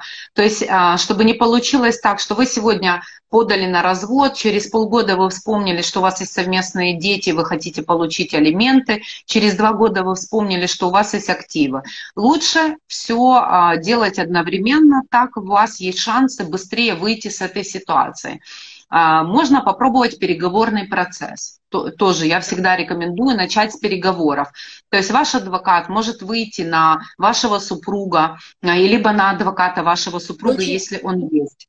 Да внимание, сделаю акцент о том, что, например, в Америке, во многих странах Европы есть официальный закон о медиации. И в России, да. кстати, ты говорила. Да. То есть это, да. Катя, объясни, пожалуйста, многие могут не знать, что такое медиация. Э, медиация – это процедура досудебного урегулирования споров. Да, действительно, в Америке по семейным делам она обязательная, и э, в Японии она обязательная, а в э, России есть закон о медиации, у нас в Украине его нету но это не означает, что вы не можете использовать этот механизм.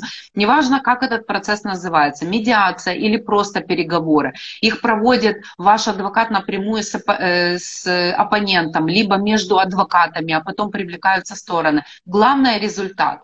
Во время переговорного процесса э, вам нужно сторонам нужно обсудить важные моменты. Это развод, с кем будут проживать дети, алиментные э, э, платы на детей, их дальнейшее образование, это раздел имущества. Если переговоры складываются, то все очень просто. На выходе у вас появляется документ, договор по детям, либо по ребенку, и второе – это договор по разделу имущества. Это нотариальные контракты, они приравниваются к судебным решениям, и если кто-то э, их не выполняет, они идут через исполнительную надпись нотариуса на исполнение в исполнительную службу. Также, имея нотариальный контракт по ребенку, а, вы сможете пройтись по упрощенной процедуре развода. И вас фактически могут развести за месяц, и еще месяц а, уйдет на легализацию этого решения. Поэтому, по сути, самые короткие переговоры в моей жизни а, у нас заняли две недели.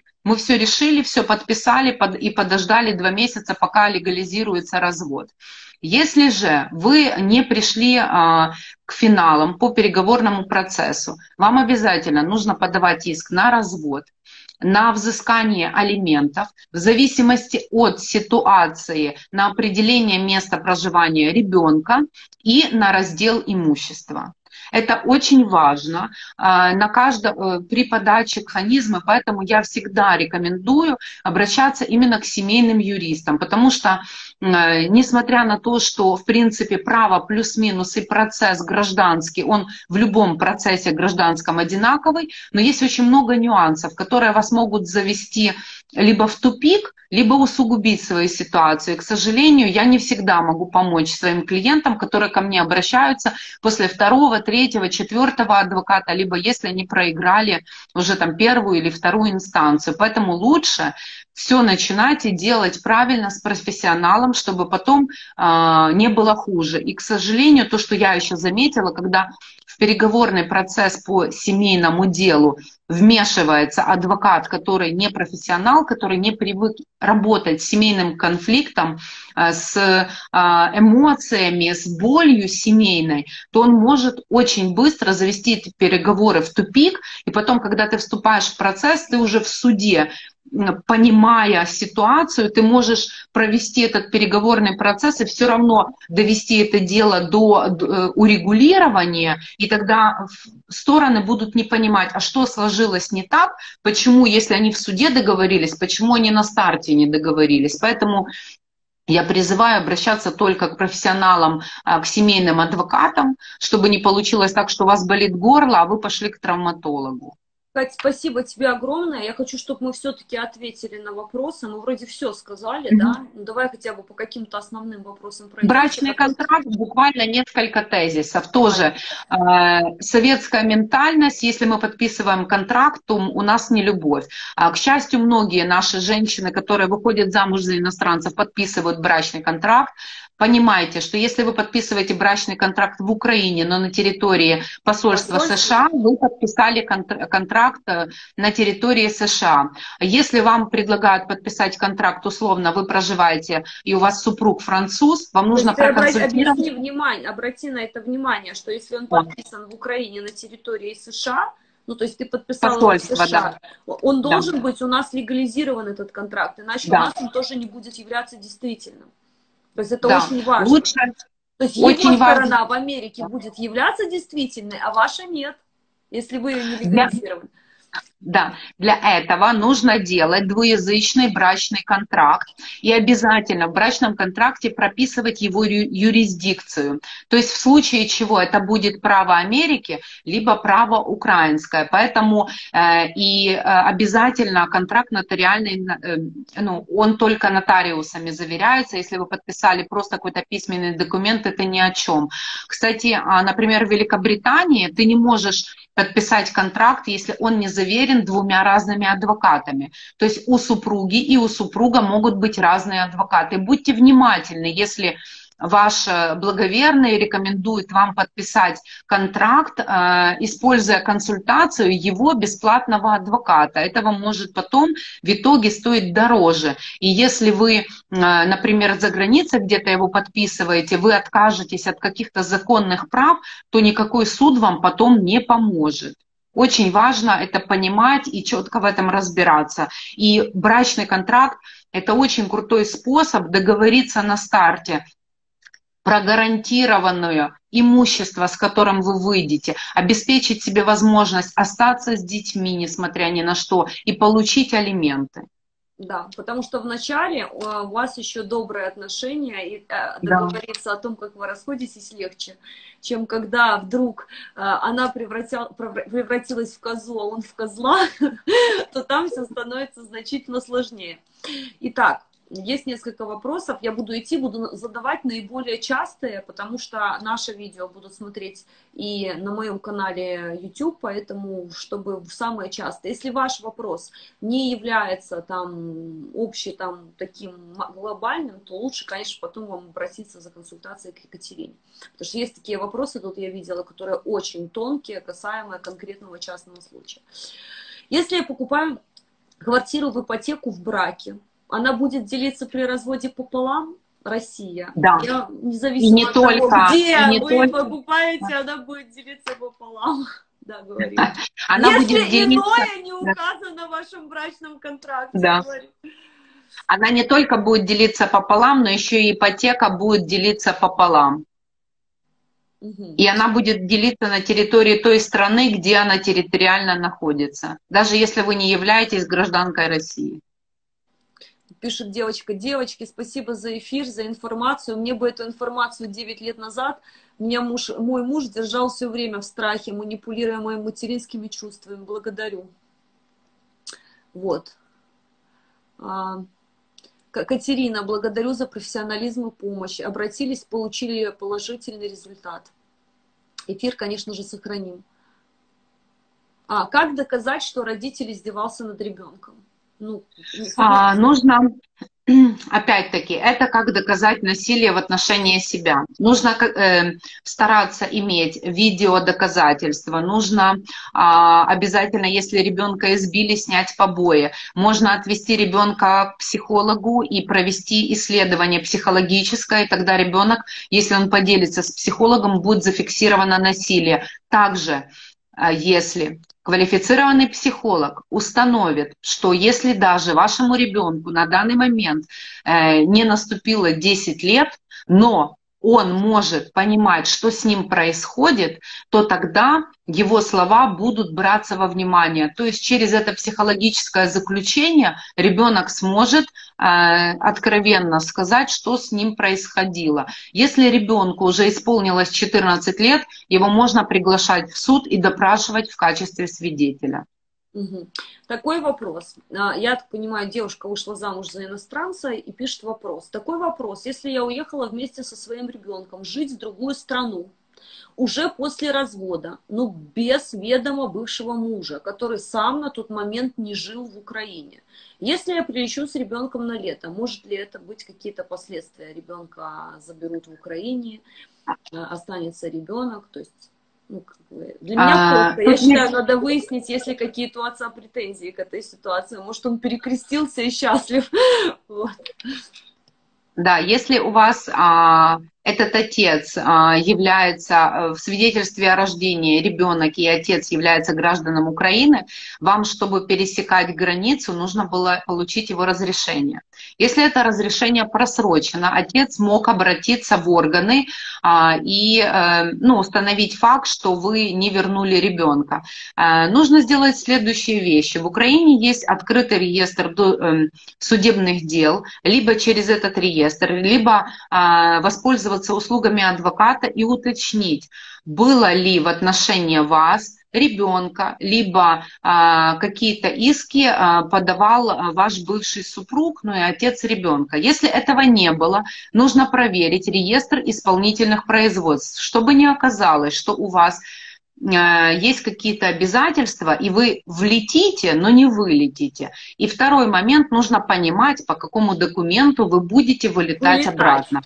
Да. Да. То есть а, полтора года назад а, я участвовала тоже в законопроекте, он стал законом, и теперь мамам, как, как, как бы не препятствовать, как бы не кричали мужчины, и некоторые коллеги мои адвокаты, этот закон есть.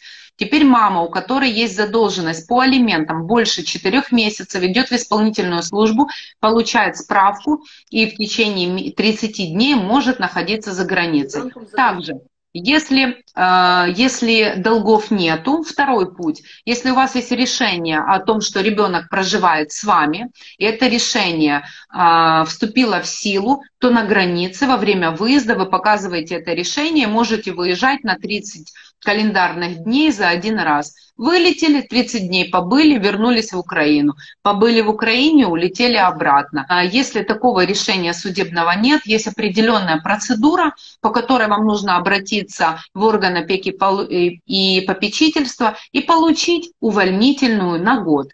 У вас будет документ, по которому у вас будет право в течение одного календарного года выезжать на 30 дней с ребенком. Если вы выезжаете на больший срок, то тогда могут быть проблемы после возврата в Украину. Если отец иностранец, мне кажется, этот случай уже описан. Если отец, мы уже говорили сегодня о нем в предыдущем видео, посмотрите. Если отец иностранец дал разрешение на выезд, но условный момент мы не вернулись. Ну, мы сегодня такую ситуацию... Все хорошо, спите спокойно. Да. Э, поэтому э, если, если у вас э, украинское свидетельство о рождении ребенка, вы записаны мамой, ваш ребенок, и отец написано громадянин Украины, гражданин Украины, ой, иностранец, гражданин иностранной страны, вам не нужно от него разрешение на выезд. Летите куда хотите и насколько хотите. Нет, Кать, ты не поняла вопрос. Это уже другой вопрос. Стоимость а.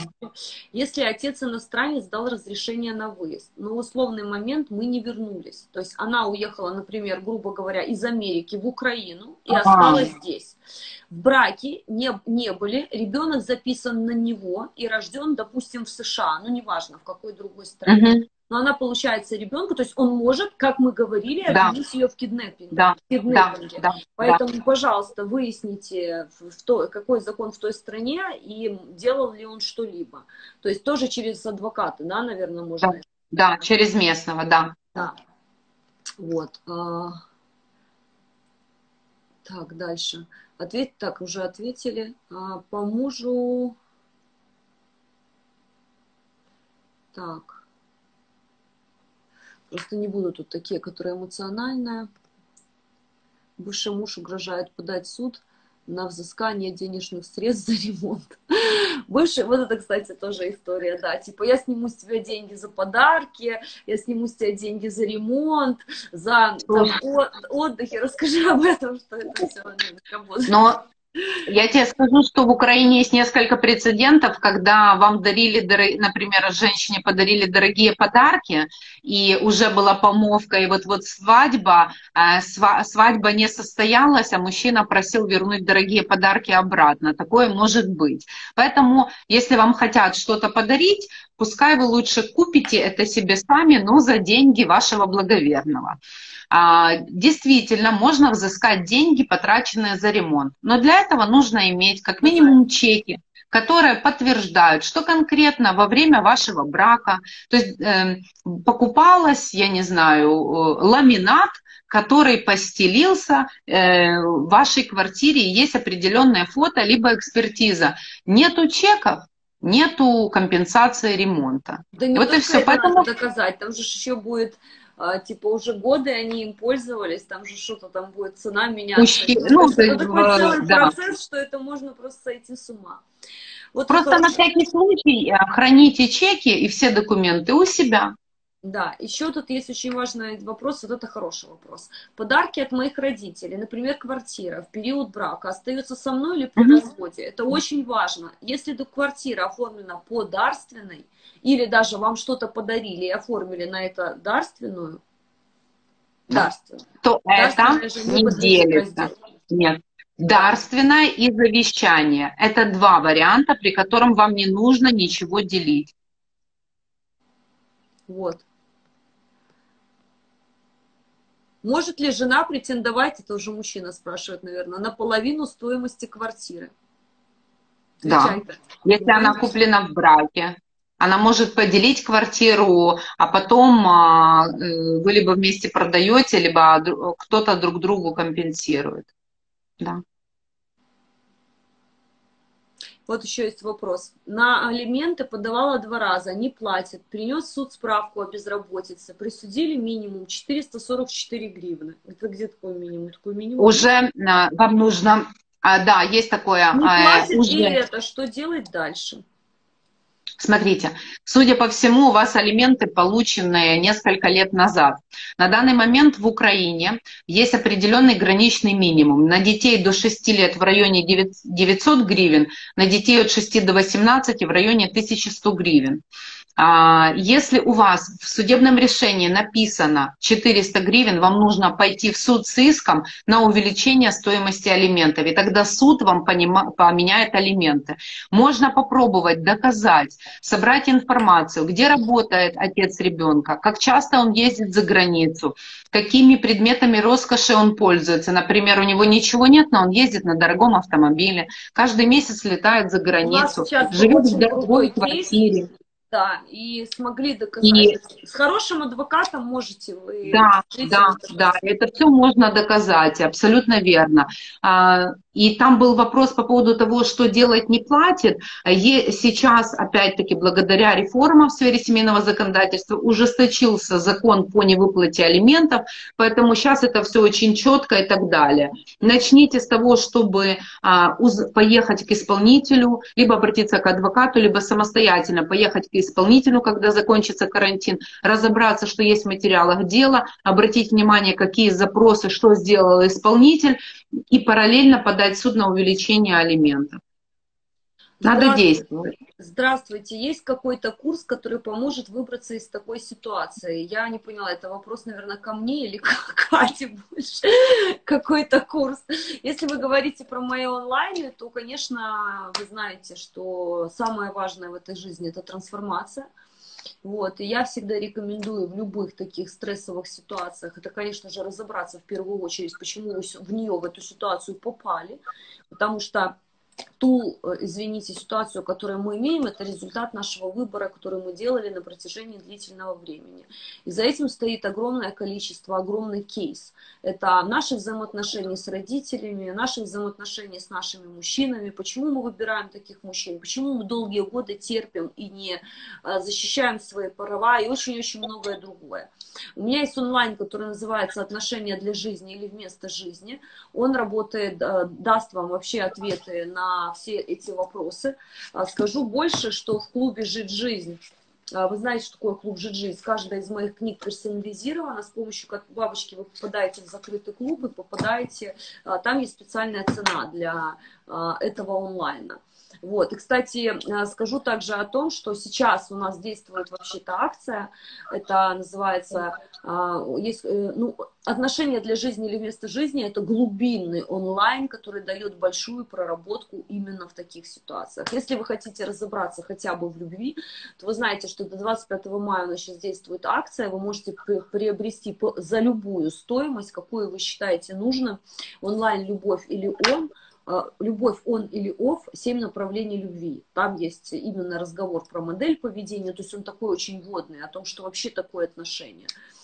А глубинная проработка, конечно, об отношениях, это отношения для жизни или вместо жизни. Вот то, что я хотела сказать.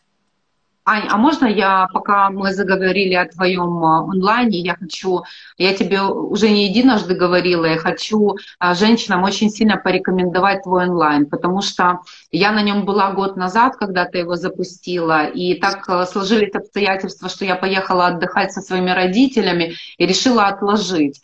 А, прохождения, думаю, поскольку я уже включена в группу, сделаю это потом. Но потом, а, буквально через три дня на отдыхе, я прошла онлайн, а, я начала заниматься, я прошла те техники, которые ты давала, срезы программ, и лучше техник я не встречала в жизни. Я не могу передать вам, вот э, ну, девушки, что такое которые... самое большое осознанка у тебя произошло? Вот я э, Э, мне было страшно заходить в эти срезы программ, потому что это час, и я не особо любитель медитации, вот я могу выдержать твои медитации, но они не длинные, и мне было страшно. Но когда я, находясь на отдыхе с родителями, начала погружаться в этот онлайн, и я увидела, как на глазах у меня меняется тон, отношения, любовь. У меня с тех пор, вот у меня никогда не было в жизни таких кла- э, классных отношений с родителями. Они всегда были глубокие, любовь, поддержка, но после твоего онлайна у меня упали все преграды. Это что травматика, есть, вот эти внутренние претензии да. ушли, отношения вышли совершенно вот, на другой Абсолютно уровень. верно. То есть мне казалось, что я проработанная, э, много читаю, слушаю, но круче этих техник я не встречала. И я очень рекомендую а, женщинам, девушкам и мужчинам обратить внимание на этот онлайн, потому что он перезапускает связи родителей и дети. Дети, ну то есть мы как родители дети, с нашими дети, Да, родители и наши а, дети сотрудники. То есть ты настолько глубинно понимаешь все, у меня настолько возникло понимание, гармония внутри и какая-то, ну вот такой внутренний дзен, когда ты в покое, в принятии, и это очень сильно повлияло на отношения, в первую очередь, меня и моих родителей. И э, я даже увидела э, какие-то, знаешь, вот э, улучшилось благосостояние, здоровье. Я очень рекомендую твой курс. Я еще хотела отдельно сказать по курсу 21-дневному. А, я его проходила в прошлом году и сделала коллаж, и а, у меня, я заходила на него с целью, конкретная. У меня эта цель сбылась, не прошло и два месяца. Хотя для меня эта цель была неподъемная до этого месяцев семь. И в этом году, в начале а, января, когда китайскому Новому году а ты уже с новой группой, а, кто-то делал новый коллаж, я решила перезапускать свой, потому что он мне очень нравится, он у меня а, стоит перед глазами, я просыпаюсь, э, смотрю на него, засыпаю с ним, я поставила себе новую цель. И я вошла в медитацию запуска коллажа, то есть это цель, чтобы, ну, для меня это очень большая, ответственная такая, ну, вот цель, которая на десятилетие ты ставишь. И заходя в эти медитации, эм, э, я э, понимала, что у меня не хватает ресурсов и финансовых, и временных. И какое было мое удивление, когда я 21 день, каждый день находилась в медитации, и когда все то, что я загадала, оно сбылось. И я не понимала, почему оно мне хотелось, я настолько в это поверила, что мне хотелось, чтобы это случилось очень быстро. И вот конец февраля, и я вроде бы уже нащупала эту цель, все складывается, вот какой-то последний винтик и не пускает. И в последний день февраля ко мне приходит осознание, что я заказывала в медитации эту цель на март. А, это было в пятницу, а март начался на выходных, и 3 марта у меня все случилось.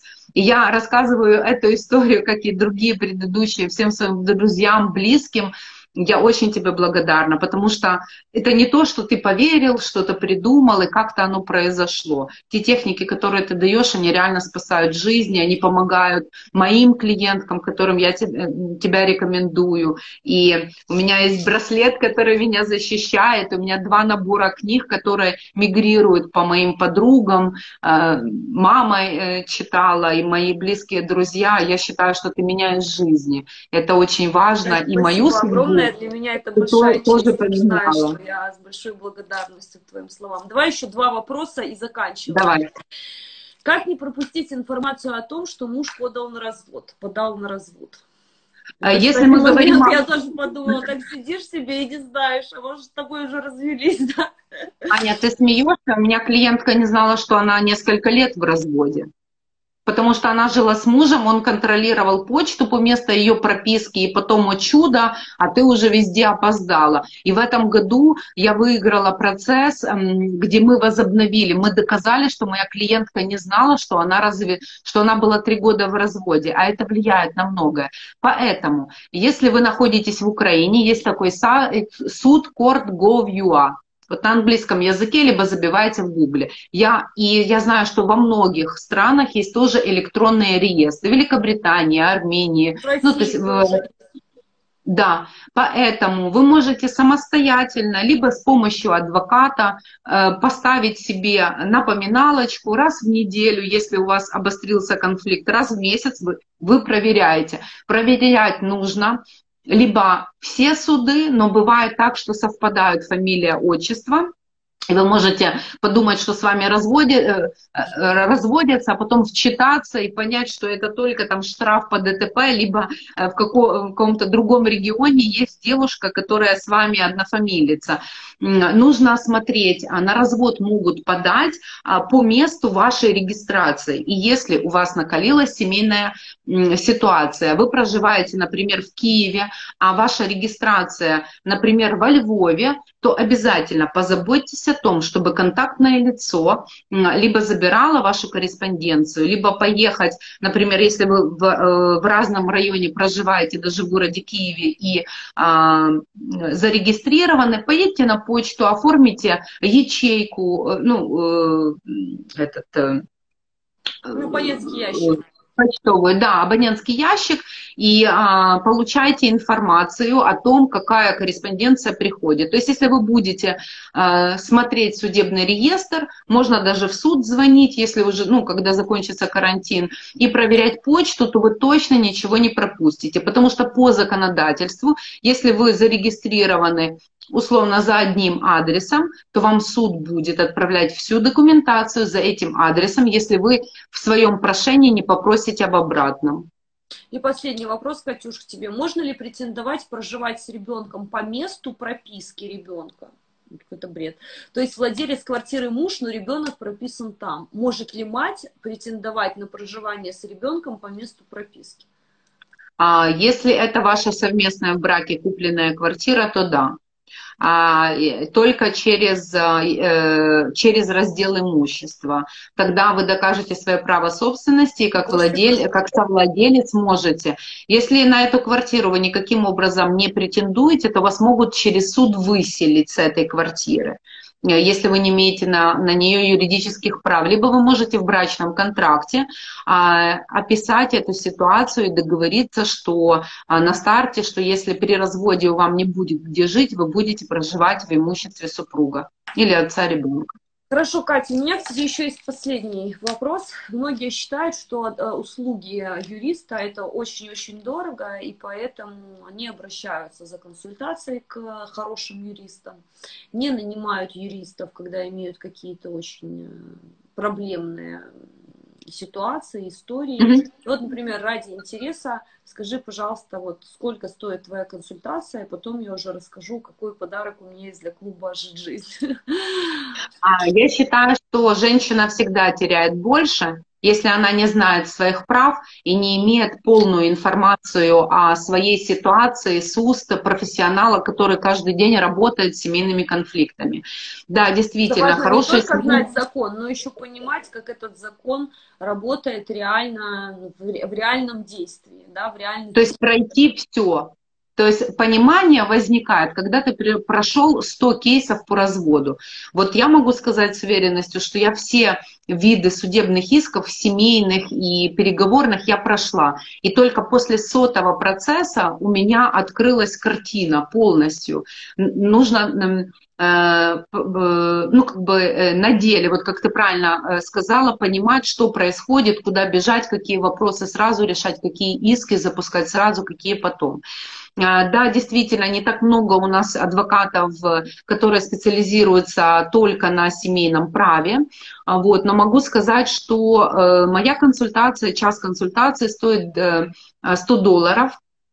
Вот, и а, это а, во время э, нее я могу посмотреть документы, а, в целом что-то сказать. Понятное дело, что одного часа иногда бывает недостаточно, но для того, чтобы снять страх, а, эта сумма доступна для того, чтобы э, избежать большой беды и а, понять, с чего начинать. Вот, поэтому я не так говорила Кате специально для клуба Жиджи. Да. А, она сейчас делает ограниченное количество консультаций онлайн. а, по стоимости 1000 гривен, это получается больше 60-70%. А, один час, да. 1000 гривен, э, только бабочек она допускает на эти консультации, поскольку Катя сама в клубе, она будет видеть, э, кто бабочки, кто да. нет. Да, поэтому мы оставим под этим видео ссылку на Катин Facebook, и куда вы можете в Facebook, в Инстаграм можно тебе писать или только в Facebook? Да, в Директ. Можно, я думаю, проще в писать в Директ. Да, найти письма. Ну, в Facebook или в Инстаграм я сегодня в сторис Катю отмечала, еще отмечу после этого видео. Вот, поэтому mm-hmm. вы можете ей написать и попасть к ней на консультацию со скидкой 60-70%. Для... Я просто, просто удивилась, что ее благодарность клубу Жиджи за да. ее жизненные изменения вот такая огромная. Это здорово, меня очень радует, что наши бабочки друг друга бабочки. поддерживают, назовем это так. Обязательно, Кать, особенно спасибо. в эти тяжелые времена. Кать, спасибо тебе огромное за этот вечер. Ты целых два часа а, потратила сегодня на меня, на женщин, на тысячи-тысячи женщин, которые посмотрят это видео, ну, поверь, они с благодарностью. Поэтому обязательно, Кате, ставьте лайки на, на ее странице. Вот, и тебя, я уверена, и бабушки отблагодарят 150 раз. Спасибо тебе огромное за твое щедрое сердце. Спасибо. И за самый огромный профессионализм, потому что э, таких юристов с такими сложными кейсами, которые работает Катя, я знаю, и она удается, ей удается решать эти вопросы. У Кати, а у тебя... У меня мама сегодня увидела ребенка. Такое сложное дело, Аня, я чуть не плакала. Мама в день, в день матери смогла увидеть своего ребенка. Это ну, такое кстати, счастье. Всех женщин а, с Днем матери, и давайте на этой шикарной ноте закончим. Пусть э, ваши дети всегда будут с вами. А, и пусть они всегда вас любят, берегут. В общем, я всех поздравляю с Днем Матери. Спасибо вам огромное, обнимаю всей душой. Да, на связи. Следите за страницей, скоро будут еще разные видео. Берегите себя, всем хорошего вечера.